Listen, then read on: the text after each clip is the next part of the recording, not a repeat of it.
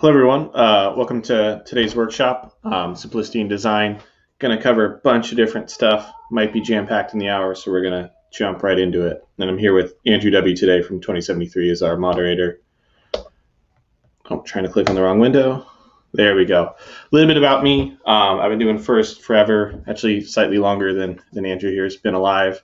Uh, most of that time was spent as the lead mentor of 973 for 12 years. Uh, we were pretty successful in that time. Um, about two years ago, moved up to the, the Bay Area in California, worked with 254 for a season, and then, you know, no one's really competing right now, but I'm splitting my time with 2135 and 254. Um, and my family moved up here for me to be a mechanical engineering manager at what was formerly Auris Health, which has a just crazy number of high level first alumni. Um, you can see my daughter here, my dog's here, just a little bit about me. Keep clicking on the wrong spot. There we go. So what we're trying to do today is there's a bunch of existing presentations that really hammer in the benefit simplicity, but don't talk too much about how you quantify it or how you get there or what's really behind that. So hopefully this will give you some tools to operate with going forward. So since this is based on other presentations, absolutely got to point those out. Um, the two that are just the absolute holy grail, uh, Karthik on 1114 their former lead mentor has run this strategic design workshop for many years. It's really dialed in now. Um, it's also fun to watch them sequentially over the years because the stories and anecdotes change with that time. Mike Corsetto's got a similar but different one. Um, Mike being an ME makes it a little more focused on design, but still very similar topics. Absolutely got to watch both. They're incredible. Um, I'd recommend you go past that. Mike's got a really good one on goal setting, which doesn't sound exactly like you know design or simplicity or that sort of thing, but it's incredibly pertinent. Got to watch it. Um, Karthik or maybe 1114, I forget who runs this one, is a pretty good one on scouting the mat strategy. And then the presentation we're doing today is a subset of like a two-hour presentation I did with 971 about two months ago. Um, has some other peripheral topics. So when these slides eventually get posted, I recommend taking a peek at that longer one. So before we get into um, what I'm presenting later on, I kind of want to steal some content from these guys. You know, if you're going to take one thing from Karthik's presentation, it's if your team has 30 or whatever number arbitrary points of resources, you want to spend that on things that will be 100%. You don't want to spend that spread across things that will be less performant. Um, and, and resource points are, you know, could be anything. Could be funds, could be machines, could be student talent, mentor talent, parent talent, any of that kind of stuff. And it's not going to be the same for every team, and you know, the unique cost function for every team is going to be a little different. But that rough point there of you know make sure you're spending all your points on things that are going to perform at a nine out of 10, 10 out of 10, versus doing more things that'll perform at a lower level. Um, one of the benefits of simplicity I really like um, is just you have less options, and that that sounds bad, but it, once you've locked in on something that's simpler, the fact that there's less decisions you have to make going forward is incredibly beneficial. It's really hard to make good decisions quickly in stressful situations. Um, and those benefits are, you know, at home, at event, in match, so on.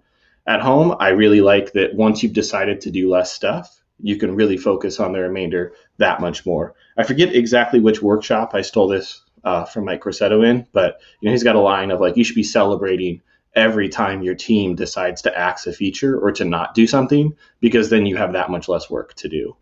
Um, as you get more into the strategy, I really like pre-match when you have a robot that can do less, do enough, but do less because you just have less options and it makes it easier to plan. Like you don't have all these different contingencies you could do or like secret features or different end game or that sort of thing. Um, you know, you'll see games like maybe 2013 where kind of everyone was in the same boat, where most robots were just doing pure cycling. Makes pre-match planning a lot easier. Um, and then in the pit of the vents, it's real nice too because you know it can be really stressful if you have a fairly complicated robot. Um, you have that many more features to keep tuned in, that many more things to you know run your pre-match and post-match checks on. Some of those features might not be done and ready, so you're kind of balancing going to the practice field and tuning those features in and and that sort of thing. And if you just have less, it's you know, less to focus on. And I, I just until you've done it, it's really hard to appreciate what you know going to an event and not having all those things to work on really feels like having a robot that just works the whole time. Um, another point that's tangential but really important here is you know there's kind of two numbers you can use to quantify the effectiveness of your robot. One is like what is the peak that that architecture could perform at. So if you abstract your robot out to like a picture on a whiteboard with, you know, what the joints are, what the features are, that sort of thing, most robots in first are actually really incredible and can do a whole lot. Um, the second number though is what did you actually accomplish with that feature set? Now, optimally, those two numbers should be the same. You draw a robot on the whiteboard that can compete, you know, at 150 units of goodness, and you compete at 150. In reality, most teams have a robot on the whiteboard that could, you know, do 200 points of, of goodness or whatever unit we want to use, and they compete at like 50 or 100. And when you overreach like that, sorry, when you overreach like that, um, nothing works that well. And you know that's kind of coming back to that that Karthik golden rule above because you're stretched too thin. You don't have time to implement all your features nicely. Nothing's really optimized. You know, you spread your weight across too many systems, so maybe some aren't as robust. You spread your programming talent, so on and so on. Um, it, it's also much easier to take a robot. Let's say your, your team could afford to make a robot with 150 units of competitiveness, and you made one with 120. So you, you got it done real quick and you got 30 units left, it's way easier to take those 30 excess units and add more to your robot and tweak it and that sort of thing than it is to try to play from behind and take a robot that you know you try to spend 200 units you only have 150 it's really hard to recover from that in season. Kind of related to this um, and this is something 973 used to do back in the day and i've, I've seen this trap with other teams. You don't want to make a robot that uh, what's a better way to say that? You don't want to take one of those robots where you're deficient in points. You know, so you aimed for making this really complicated robot, you got it halfway done, you finish it in the off season, you go to your off season events, and at, you know the last matches you remember from that robot are at the off season when you finally got it tuned in really well. Um, and then you you bring that message into kickoff of like, oh yeah, all those really complicated decisions we made last year, they totally worked out. That robot was killer. Um, that's a dangerous lesson because you really want to peak, you know, either at regionals or champs, depending on what your team's goals are. In peaking in the off season, unless it's your team's charter to be less performant in the season and just kill it at off seasons, I mean, that's just not a great goal. So careful of uh, justifying the previous year's decisions based on data that was too late. You know, try to ground yourself closer to kickoff and go back and watch matches from your first regional, your second regional from champs. Um, look at the performance there versus you know potentially higher off-season performance. Um, opportunity cost is a, is a theme I'm really big on. I mean, the short of it is anything you're doing is something else that you can't do. Um, so just because your team spent resources and accomplished something that was measurably effective does not necessarily mean that that was the right decision to make. Um, and, and, it doesn't mean it was the wrong decision. It's just something to be cognizant of and think about you should be constantly assessing, you know, both in season and after the season, are we really spending our limited resources in the way that benefit our performance the most? Um, I like to break things down when talking with students of like, imagine we're going to spend an hour on XYZ. Like, how much is that going to boost our average points per match? You know, we never actually math it out, but it's just something to kind of drive the point home of like the time you're spending should be going to increasing performance, assuming that's your goals. And you should try to get the biggest increase in performance you can for the time you're spending. I think a great example of this is a lot of teams will, as they're shifting to being more competitive, feel that they have to make a custom drivetrain and they'll tie up their top students on the design side. They'll tie up their fabrication resources early in season. They'll get it done. You know, the drivetrain will be done week three or four. It'll totally work. It might be a little better than a kit apart drive. Uh, won't be substantially better. And you know, the, their memory from that season is, man, we bit off a custom drivetrain and it worked and it did really well, and that was a great decision. But in reality, for most teams, those design and fabrication resources early in season are probably far better spent on better prototypes or earlier production of the rest of the robot. So I got a picture. I think it's a 1720 here. They got this beautiful looking kit apart drive. I think it's got six Mios on it, uh, so plenty of power. This is going to be competitive with with any team out there, really and, unless you want to start getting to the swerve silliness. Um, and you can just buy two of these and configure them how you want and put them together, and you can have them drive in really quickly in season. You cannot, most teams cannot fabricate a drivetrain, have it wired, driving, and programming faster than you could with a kit apart drive. You'll see some really high level teams do it, and it makes sense for them because they have so many excess resources and they can move so quickly that the opportunity cost isn't that bad. But for most teams, I would really stress even if you've been nailing your custom drivetrain year after year, really consider would I be better if I spent those resources on something else? All right, I think this might be the last slide before we start jumping into the simplicity stuff. Um, another theme that that you know I, I took a while to learn in first, and now that I've I've got it, it's kind of like my cult that I really buy into, and that's you you don't want to approach this as like you know I, I do all the stuff in Karthik's workshops and I make my robot shall list, um, and then the season just kind of happens how it happens. We're going to design all this stuff and we're going to be done when we're done. And whether or not people realize that's what they're doing, I think the bulk of teams work that way you know, they say they're going to work faster. They have a Gantt chart saying when the robots can be done and that sort of thing. But what they're not doing is along the way through the course of build season, they're not adjusting their decisions to meet the schedule, other than at a certain point they have to compete. So, what I would like to hammer home is you buy into a schedule as a team with clear dates that you agree you will not miss. And, and maybe you miss them a little bit, but you really drive towards those. And if it looks like you're at risk of missing those, that means you bit off too much and you should descope to, to go back to hitting those schedules. Um, ideally, you descope earlier and not later. It's certainly more expensive to descope later than earlier. Um, but I, I wouldn't focus on the sunk cost of we've got three, four weeks in the build season. We're three, four weeks from done, but we can't change it because we already spent three or four weeks on this concept. No, I would go simpler. In 2019 on 973, on kickoff day, I was really wanting to skip the high goal entirely, and I when we just couldn't do it as a team. We just had to go high because that's what good teams are doing, and we waited till I think about week five or six of build season to fully remove that stage of our elevator to make our robot only able to score in low and middle. Um, to kind of remove options for what we could do on the field, save some weight, um, make practice a little easier because we were only had, had to play one match plan. You know, elims and quals kind of ended up the same at that point.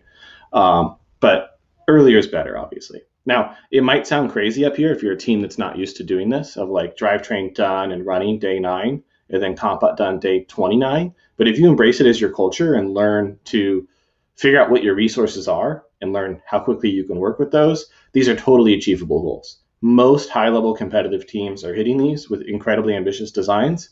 You can absolutely hit it with simpler stuff. And then you might ask, you know, especially with no bag, you know, day 29 is very early compared to our events. Why have that so early? It's so you can spend all your time here. You want to get that robot done as soon as you can so you can go to the practice field, tune shots, practice scoring, whatever is relevant for the game, get your autonomous going, and get all of that kind of stuff. And what you'll find is even though the robot was done on day 29, there's all sorts of optimizations and tweaks that'll fall out of uh, you know a rigorous practice schedule. All right, so we get into this next section. It's a little messy, um, but what we're trying to do here is no one ever disagrees on you should go simpler, and there are benefits of it. But simplicity means like a million different things in first. Um, you could be simpler in terms of design. You could be simpler in terms of how you're making stuff, how you program stuff, whatever. Um, so I'm just going over a bunch of different ways you could be simpler. None of these are spots where if you are more complicated, it's ne- it's like a death sentence, and if you're less complicated, you're guaranteed to be good. These are all just themes, um, and you'll probably see your team more in some of these than others. Um, but it's important just to see all the different ways you could be simpler, and then kind of compare that to your team's resources and prior experiences, and figure out which one of these you can afford to be more complex and capable in, and which ones you should really pare down on. So let's jump into it. So high level, and I got to work on this presentation for another year or two to get this more cohesive. But high level, um, you know, how integrated is your robot? We'll talk about. Uh, is your robot kind of a collection of separate parts, or is it like really one thing where everything has to tightly integrate and work well together? A lot of short robots in 2020 for the short season um, were very highly integrated. Some of the tall robots were less integrated. How much do you have to invent? You know, is your robot entirely made of existing FRC systems that you've you know can pull up video of and see in the past? Or does it require you to invent something new to first? Maybe not new in the world but at least new to first and you haven't seen teams do it successfully. Uh, tactical features are you know things that optimize your match and make it kind of go quicker and we'll see that more. Uh, i should spell that out as degrees of freedom but you know just how many joints on your robot? How many things can it do? Um, and then we'll get into a little bit of different types of mechanisms what are simpler what are harder. Um, Tuning is a big one. You know, how do you take your box of parts, put the robot together, put code on it, adjust the robot, and compete? There's a lot to that last part that people overlook. They're, you know, they're usually more focused on the design, and then we'll touch on a little bit of you know how you should be using COTS to move faster. Um, so this first one, I, I think, is probably the uh, I don't know, they're all the most important one to, to highlight. I, I feel this is one of the most important ones when you're starting to get into more complicated robots is determining are you the ty- type of team that has the firepower to design a robot that requires really tight integration where you need all your systems uh, to kind of be designed and work at the same time. Because if you get halfway through designing your robot and find that you actually can't make a shooter work in a really tight package, you have to toss the whole thing out. Um, if you can do that, there's some benefits to how simple the robot is once it's done but the process of getting there can be rough and really isn't that simple. So if you look up here, 1678, 2016, I recommend you pull up and watch some video of them later. Um, super tightly integrated. Like you could not take a single part of this robot off and, and like kludge it into some other robot. You know, everything in here required everything else for it to work perfectly. And they could do it. They could design it. And this robot was great at regionals. It was great at champs. It worked the whole season. They pulled it off. Um, if we come down here and look at 1241, and they've got some great videos you can see of their prototyping. That's why I really like this robot here as a case study. Um, their intake and bridge mechanism is entirely separate from the conveyor that it feeds into. Like you could totally replace that intake with a different intake, wouldn't affect the conveyor. The conveyor that feeds balls up to the top, kind of same thing. That conveyor could have existed in any number of forms. The shooter itself, same thing. You could replace that shooter at any point in season with any number of shooters. Um, and it would be easy to do so. And the benefits there, I think, are less about your ability to replace during season, which is a nice benefit, knowing that you could tweak things down the road, and more about if your team has less FRC experience, less design skills, it's far easier to get a robot working if you can kind of make those things separable and attack them, attack them piecemeal and know, hey, as long as my intake can bring a ball in through this hole, then my intake's good. It can be whatever form we need. As long as my conveyor can take a ball from here to here, then the conveyor is going to work, and so on and so on. Um, some years this is you know you kind of get it super easily. Like a lot of 2019 robots were just an elevator with a claw on it. That's pretty separable. You start looking at maybe like 1678 in 2019 um, yeah it was technically still an elevator with a claw on it but it like swung through the elevator and you know that was really tightly integrated and complicated. So uh,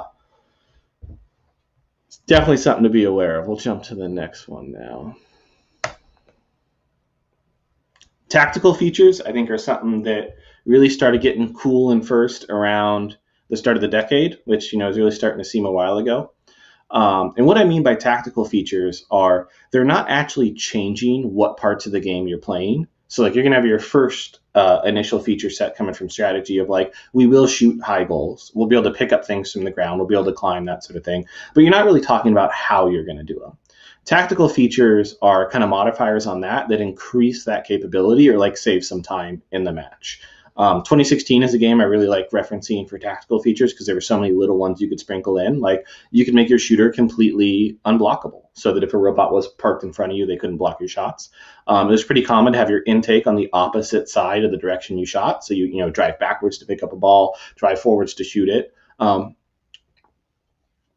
uh, what other ones? Uh, you know, for 2016, there was like a bridge you could lower. Was that something that you drove up and then lowered an arm and then drove over, or did you have like a purely passive mechanism that let you just keep driving and go all over it?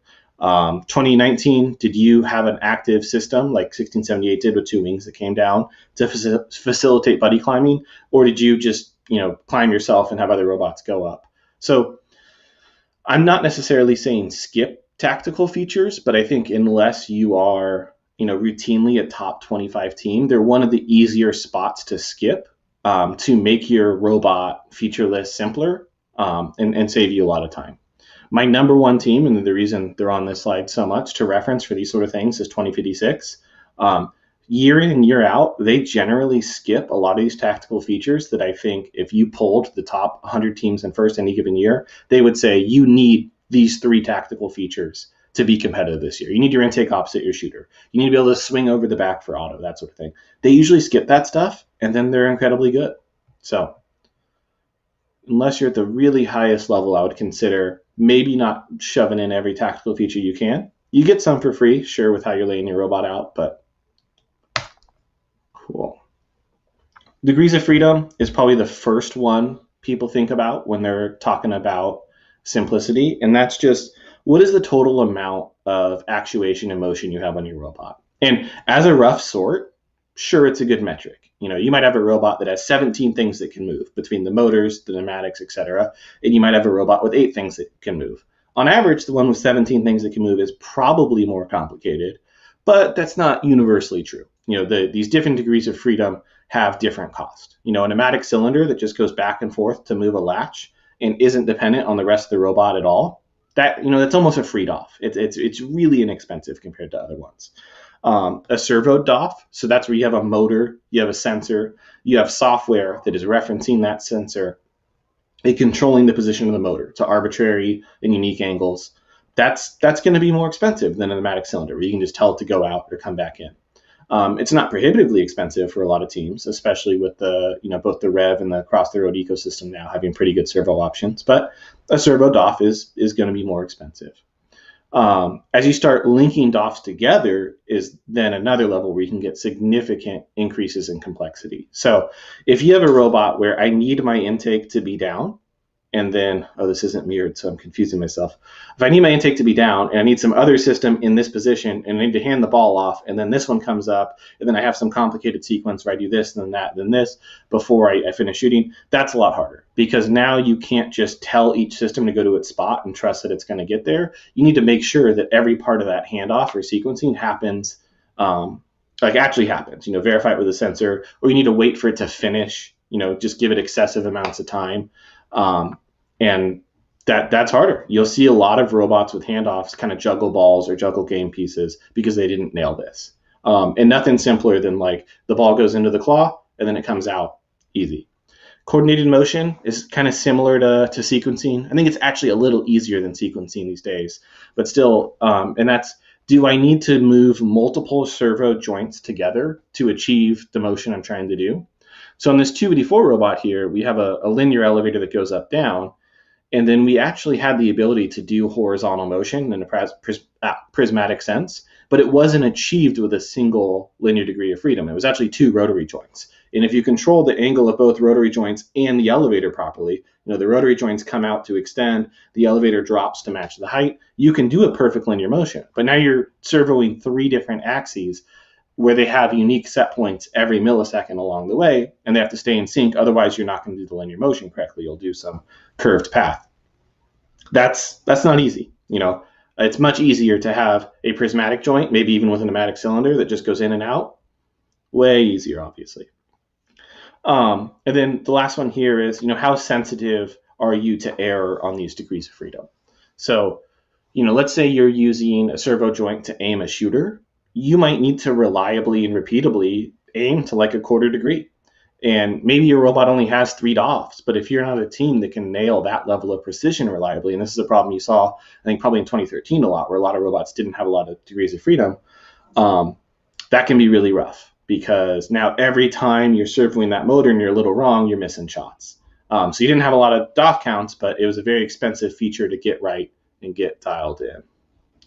Andrew, do we have any questions coming along as we're going, or should I just keep going and leave questions for the end? Um, yes, we have a question from Diego Sensky. Uh, Adam, how much do you have in FRC? Also, did you learn more about good robot design while you were a student or a mentor? Uh, would you mind dropping the question in the chat as well? Just the, the audio is not perfect. So I think the first question was how many years have I been in FRC? Um, that's a complicated answer. I, I really was only dedicated as a student um, from my sophomore to senior year. Um, so that would have been the 2005 to 2007 season. I like visited and hung out and didn't contribute any value on the high school team uh, a little bit before that. So I don't really count that time too much. Um, and then after I graduated high school, I spent 12 years at, you know, in San Luis Obispo, California, mentoring 973. Um, the bulk of that time as a lead mentor and then I've moved up and now have, I guess, one and a half seasons because 2020 was canceled pretty early uh, with 254 and 2135. Uh, as for more, you know, where did I learn more?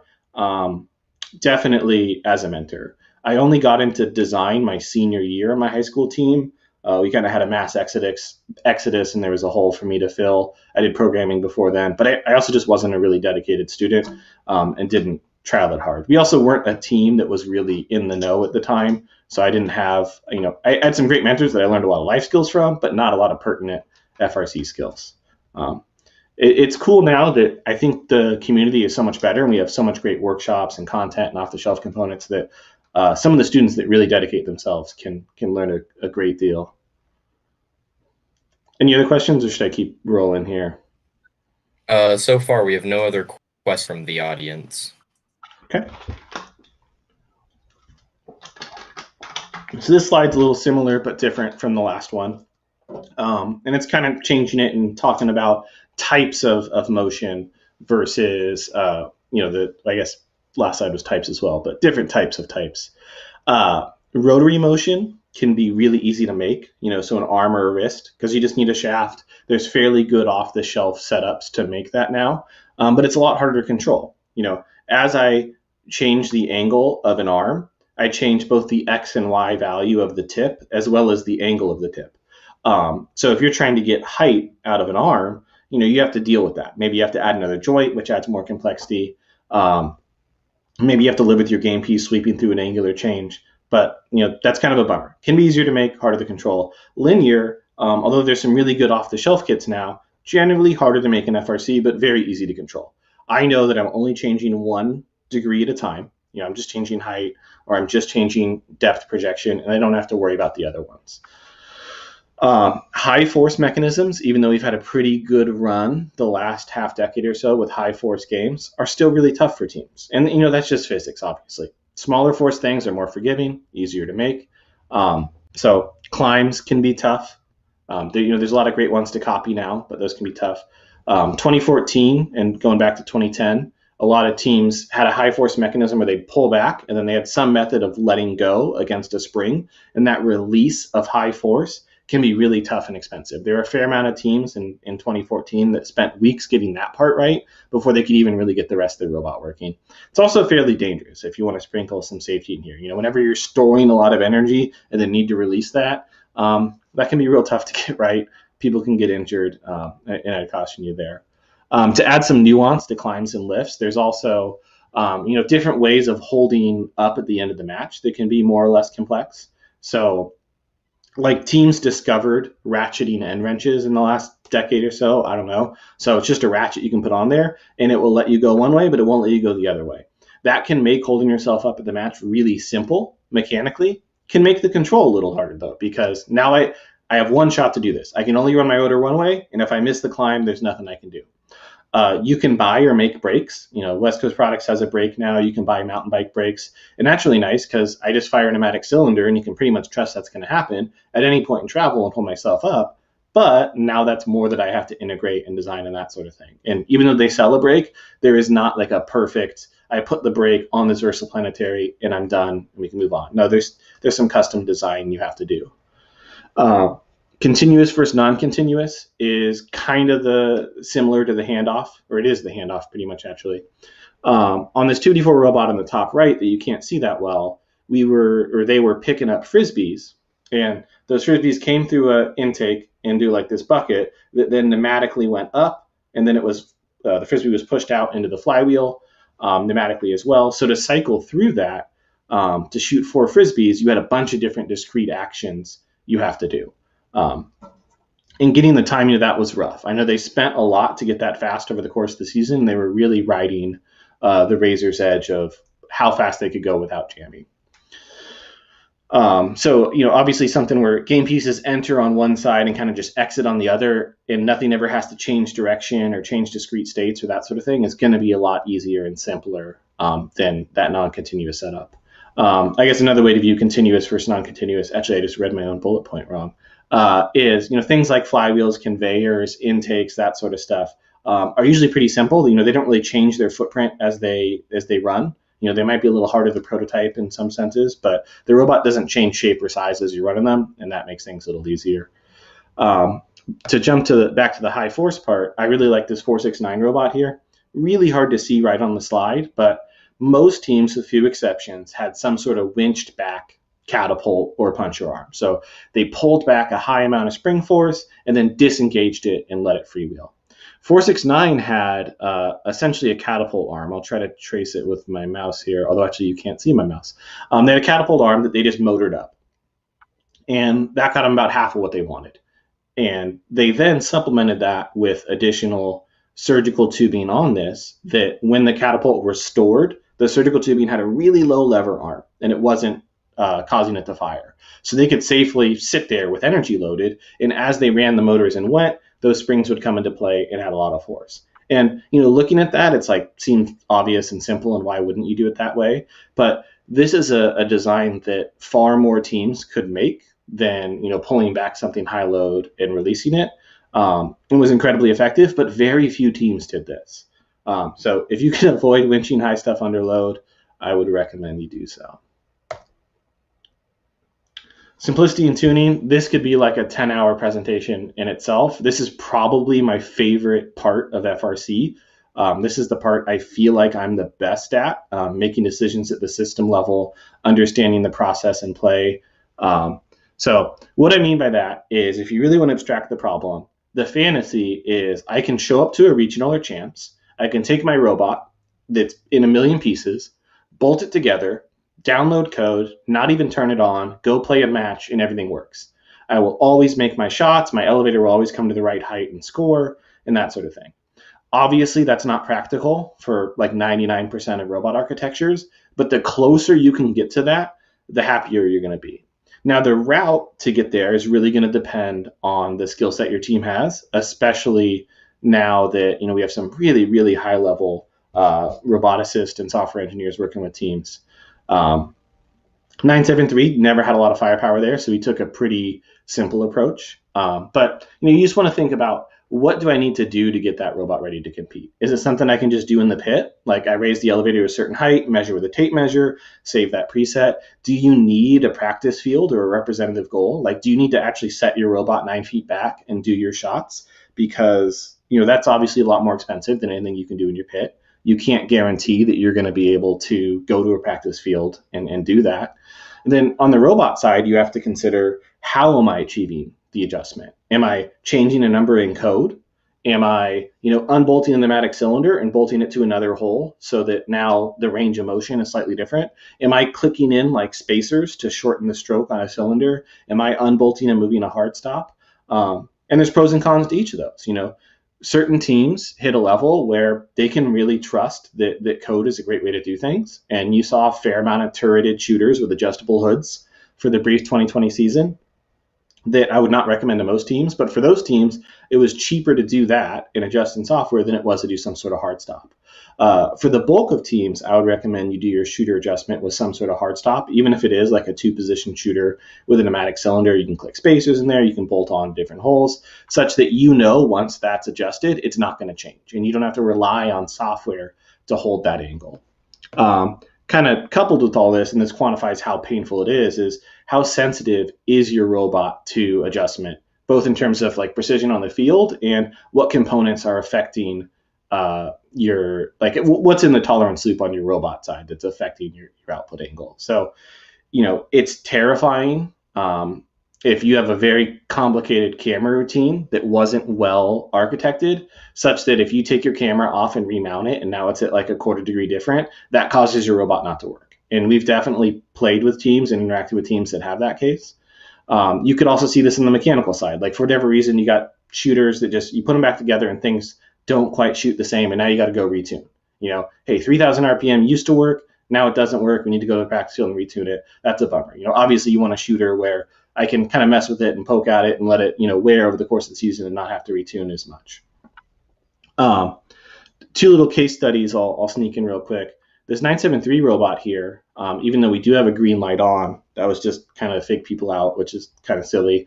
Um, we did all of our aiming with a flashlight that we bolted to it. Um, and a driver would just aim that flashlight at the goal, and then they would drive forward and back until the flashlight lined up with that line. Um, and then to extend that further, we had one preset saved. It was whatever RPM made our shots in auto. And so we, you know, we would do that auto tuning, see whatever RPM worked, and then we would just mechanically adjust that flashlight on a practice field or in the diagonal of the pit um, till physically the robot would be in the right spot for those balls to go in. Um, and that worked really well. We didn't have to rely on vision or any other crazy stuff. Um, it let us maintain a pretty high accuracy because we weren't introducing any errors on the vision side from a less than optimal vision setup. Um, for this slide could use more pictures and diagrams, but I'll, I'll speak to the case study here. So for 2019, 973 uh, had a, a, vision loop for scoring these panels on the tower. Um, and it did a couple things. It, you know, drove us to the tower, it aimed us on the tower, and the farther away we were from the goal, the more would actually aim us away from the goal, such that as we got close, sorry, the, the farther we were physically away, the more we would turn away from the goal if we were off at an angle, such that we would kind of dr- force to be dri- driven in an arc and approach the goal smoothly. Um, so we tried to get that all with continuous functions. Some teams did that by, you know, using the limelight to figure out where they were in 3D space and generating a spline and driving that. So we took a much simpler approach and it worked really well at our first regional. We were really happy with it. There wasn't a lot to tune. It was a really simple routine. Um, and for whatever reason, at our second regional, it just was not working well for us. And we spent like four hours on the practice field trying to tune it in well. And, you know, we'd made kind of a classic mistake of, you know, sometimes if something's really easy to tune, you don't explore the boundaries and get good at retuning that in the moment. So, you know, coming out of our second regional and going to champs, we realized it was critically important to be ready to go to the practice field just once and retune the whole thing and be confident it was going to work. So, you know, we kind of abstracted this problem to, you know, no longer being a robot problem, but like the whole team is a system and we're competing with that system. So this checklist, if you zoom in and read it, it like doesn't actually make that much sense. It's all kind of shorthand. But the important thing is the the three or four students that were involved in this and the one mentor that was involved in this knew what everything on here meant. They wrote down and rehearsed at home everything that was necessary down to like you can see grab tape measure, grab battery, grab Ethernet cables, grab the laptop, that sort of stuff. Uh, they rehearsed everything. And um, that year at Champs was actually about a month after I moved away from the area and up uh, up to the, the Bay in California. So I didn't see any of this happen. And I was blown away when we got, got to Champs and went to the practice field once and they ran through these tuning steps and tuned all three parts of that PID loop um, and had all the stuff. And it's like they weren't even speaking to each other on the practice field in the moment. They went out there and just did it super quick. And the only reason they were able to do that was with this pre planning and checklist, um, which is super sweet. And I guess the takeaway there is uh, if you are dependent on you know outside resources at a competition to get your stuff tuned in, make sure you're ready to use those quickly and it's not a, a cluster when you head over there. Um, I think this is the last slide in this section. Um, doesn't exactly fit with the previous conversations of robot architecture. It's kind of an orthogonal scalar, uh, but it's super critical. You know, there are a million different ways, whether using methods you steal from other team or using COTS components, for you to make the exact same robot faster. And if you make it faster, that means you can either make more robot and get done at the same time, or you can make the same robot and get it done sooner, spend more time practicing programming, whatever. And you can go either way with that once you understand your team's resources, as long as you know you're really striving for that robot to be done week four.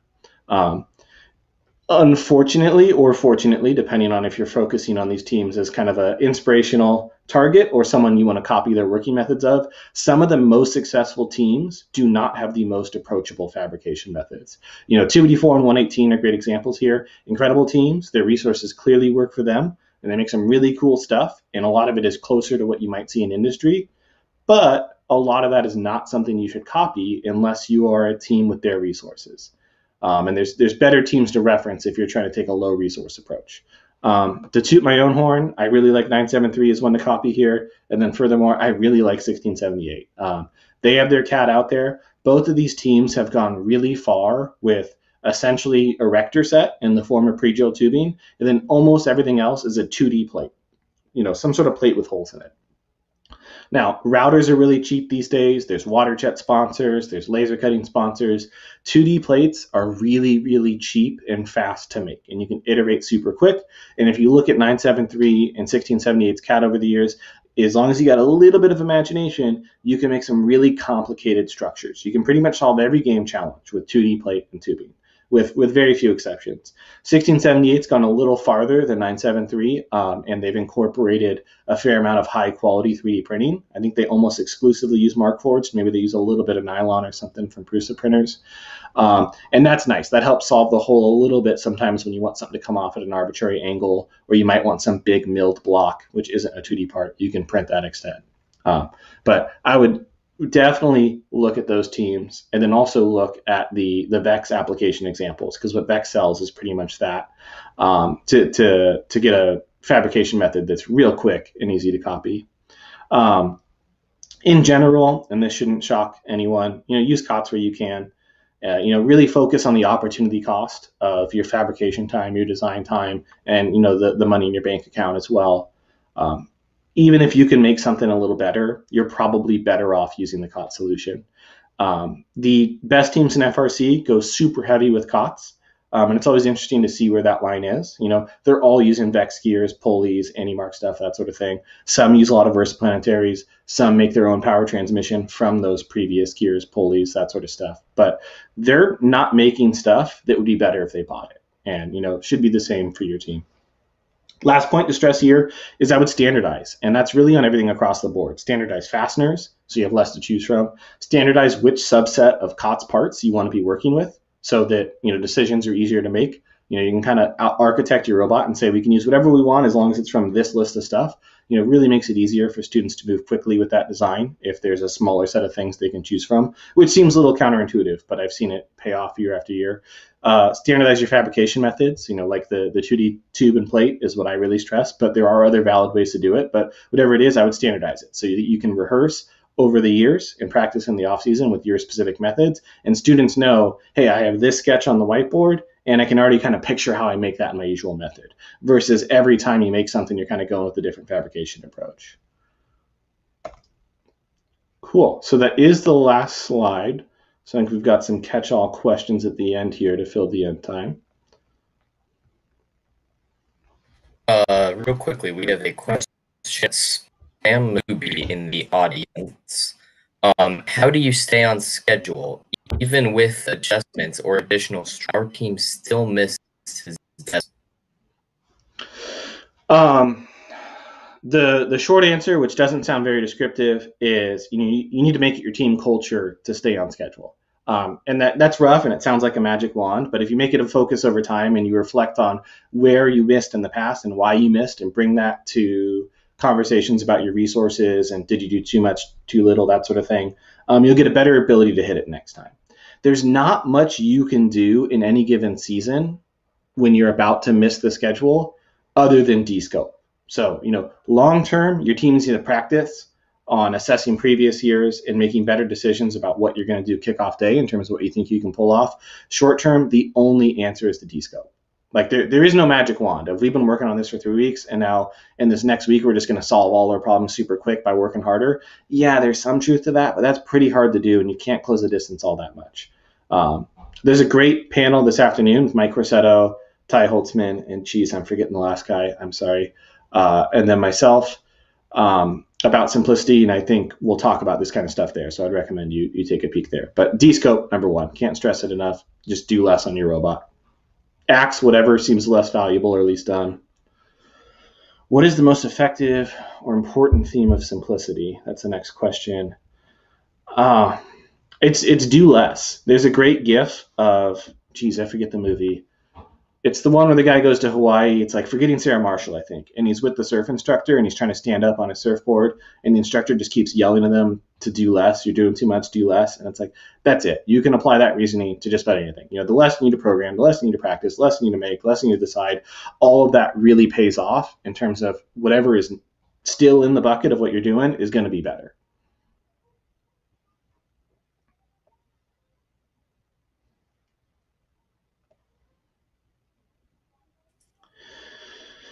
All right. Is it better to spend robot points tuning the robot or adding the new mechanism at a cost of tuning the robot? Um, that's situational. You know, you the, the more you reflect on things like this in the past and and get better about understanding your team's resources, the easier it'll be for you to make that decision in the moment. Um, but this this is really a classic trade-off. It's a great question. There are years where you're better off axing what you have and making something potentially more complicated in the moment that you have a much higher confidence of it working when it's done and it having less tuning required. And there's years where it makes sense to um, just keep tuning and playing with what you got. Um, in the longer version of the same presentation that's linked way above, I kind of talk about some of the decisions 973 made in 2017 that are similar to this. So, like, we went to our first regional, um, unfortunately, didn't win. Um, and we, we still kind of had the shooter we've been running for five six weeks at that point.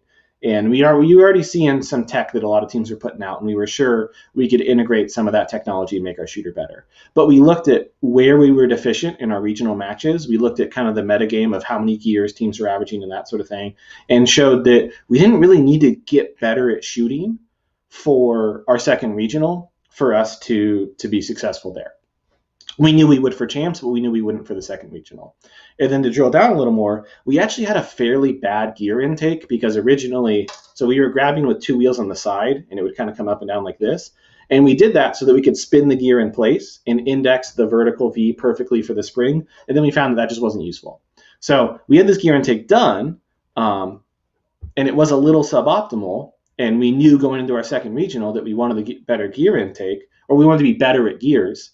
Um, and it's like, what do we do here? Do we practice more with what we have, or do we make a better gear claw? And we actually kind of kicked off both because we had enough bandwidth to do that. We made a better gear claw, and at the same time, we put a camera on the robot so that the drivers could see the gear on the camera um, and just practice picking up a little bit. And we found that that was enough. You know, that extra day or two of practice, which is kind of tuning, um, was better than putting on that better gear claw. And then to complete the analogy, we ripped off everyone's shooter technology we could um, coming out of regionals to champs, and our shooter was was pretty sweet.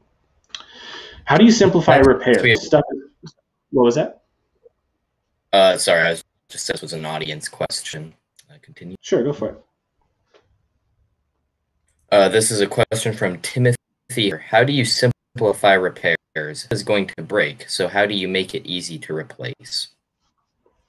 That's a great question. So there's two halves to this. One, I think, is just the pure mechanical aspect of thinking what will the process be to replace this? Do I have to take off other systems? How many fasteners involved? How long is it going to take?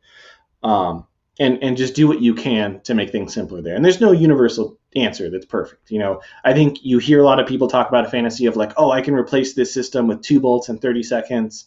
Um, you know, sometimes that's great and you can do that. Sometimes your system kind of has to bolt to a bunch of different things, and you got to replace multiple parts. Um, just do whatever you can to to to make that easier, and extend that through your drive practice. You know, uh, on 973, we wouldn't make the pit crew come to every single drive practice, but we made them come to a fair amount, and they could like do their homework and stuff on the side. But when something broke, they would be the ones there to fix it. One, because they were better than the drivers at doing it, and two, because that was real pertinent experience. Um, and then sometimes we knew there were real pain points on the robot, and we would do dry runs with pit crew of stripping that system off and putting it back on. Um, and often you can save a lot of time just with slightly better technique. You realize, oh, I actually want a longer Allen wrench and I want to come from the other side. Or, hey, you know, the nut's usually on this side and the head's on this side, but actually we can swap that around and things go faster. You learn stuff that way. Um, the other part of this is more on the tuning side. And that's if you have something that you think might need to be replaced at an event, and it's going to affect your shot or your presets or whatever, you damn well need a plan for how you're going to tune that in after you replace it. Because there's nothing worse than getting to elims, you know, maybe winning that first match, losing the second match. This is the rubber match you got to win, or or you're done, and you break the thing in that match, and you replace it, and you're all stoked, and you're rolling out to the field. And since your team's kind of new to this stuff, and you haven't quite been there before, you realize as you put it on the field, like it's not going to work. It's going to go to the wrong angle. We're going to miss our shots, whatever. Um, so you just need a plan for that. No universal. I, I guess the universal answer is planning. No, no universal answer otherwise. Cool. What's next? Um, do you have a good example of complexity gone too far? Also, do you have an example of simplicity too far? Ooh, complexity gone too far. Uh, there's a million examples, um, and I don't want to poke another team, so I'll think for a moment on 973. Uh, our initial 2015 robot was really dumb because we wanted to be able to put cans on top of existing stacks. Um, and it almost looked like the mobile half of 148 in 2015. And it made that robot way too complicated, and we didn't show up ready and that sort of thing. And we descoped on that, totally stripped it down after the regional and went to the more traditional, just you have an elevator with can grabber and stuff on it. Before that, we had a elevator and a four bar, and we didn't have a wrist. And it, and it technically worked. Like at home, we could build the full stacks, we could put cans on top, but because we spent so much extra time working on that, we didn't show up ready or tuned, and we just played terrible. Um, other examples of complexity going too far um, on 973 at least. Our 2012 robot worked pretty well, but not incredible, and it was most complicated robot I've ever been involved in. Swerve drive, turret, adjustable angle, shooter. A lot of that stuff was harder back then than it is now. Um, and I'm sure many people can think of of teams that uh, make robots that are too complicated. As far as simplicity gone too far, I think that's really a red herring. There's very few teams that actually hit a point where their robot is too simple and and their performance is poor because they were too simple. Um, I think it's easy to make a robot that maybe only cost 100 points to make, um, and your team could have done 150, but then you still end up not fully tuning it in. Like that's most teams. Most teams don't go to every match and play perfectly, um, and then say, "Oh, we would have been better if we made a more complicated robot that had more capability. We weren't scoring enough. We weren't doing enough." In reality, a lot of scoring is just based on practice and tuning and confidence in the robot and a picker that can keep it running. Um, so I think too simple is and unless you're a top 25 team and you're losing Einstein because your auto wasn't as good, it just isn't really a thing. Uh, an audience question from Sam Masubi. Is it better to have a heavily rated robot or a robot that is very replaceable? Oh, man. Uh, like I've been saying the whole time, you know, all this stuff is a theme. There, there is no yes or no for all these across the board. Um, it depends on how likely stuff is to break, how often you'll need to replace it, how likely it is you might want to change the design over the course of the season. You know, a heavily integrated robot that you get the design right the first time, don't need a change over the course of the season, and rarely breaks. Uh, once you're done, is now like the simplest thing, and that's kind of a catch 22 here. Like 254 in 2014, when they got that robot done, they were very different than every other team that year. And when it was done, it was super simple everyone was like, oh, we should have made that. That's the simplest thing. That's obvious. But to get there and show that that integrated design would work, and then also have the confidence that over the course of the season, we're not going to need to appreciably change this and our stuff isn't going to break, that takes a lot of skill. And that that's really hard. Um, so I don't know. I don't want to give an answer to this one other than that rambling uh, uh, what theme there. Or Great question. I, I should have made sure I, I spell out all the acronyms here. At work, we get grilled if we do acronyms without explanation. Uh, COT stands for Common Off the Shelf or Consumer Off the Shelf. I've heard that as well. I think uh, both are, are, pretty commonly used. It just means you can buy it. You know, Vex Pro, Rev Robotics, Andy Mark, West Coast Products, geez, I'm forgetting a couple other companies. They all have some or a complete ecosystem of FRC specific off the shelf parts that are just great. And if you're not using at least one or two of those vendors, um, you're going to have a rough time. And in reality, you probably should be cherry picking and going to all of them.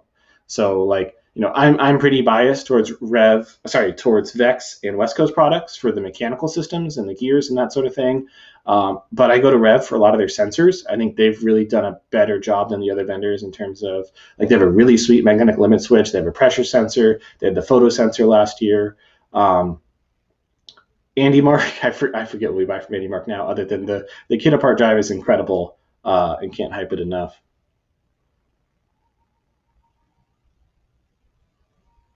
Um, as a follow up, better to have a custom part for your Rose a better job or a COTS part that is not perfect but easily replaceable? Uh, I'll give two answers here. So, one, if you're talking about a part, COTS is almost always the right option at the component level. Um, as you start getting into assemblies, um, or more like plates, I guess plates versus parts like a shaft, a gear, that sort of thing.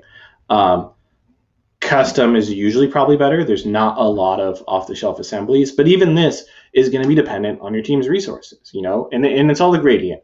Obviously, no team is making their own bolts. And if they are, it's probably done. Very few teams, but a handful are making their own gears.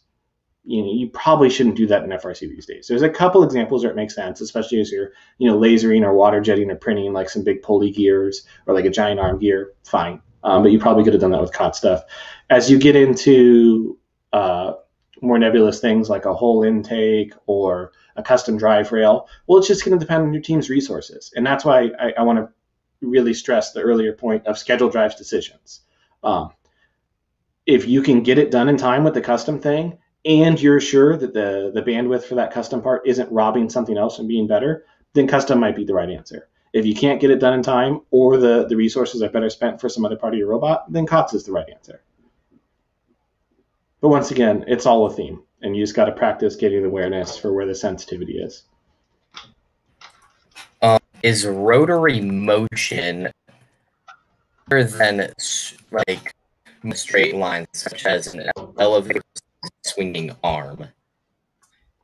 As it, Are you saying it, it is rotary harder than linear, just like generically? Is that the question? Yeah. Uh, yes, for design uh, purposes. Like with. Uh, Once again, you know everything's a theme. I, I think it's easier to make rotary axes quicker in FRC. It requires less components. They're easier to conceive of. Essentially, you need the side that doesn't move, and you need a shaft, you need some sort of bearings, and you have the stick, and you got stuff moving. And you need to get one part right.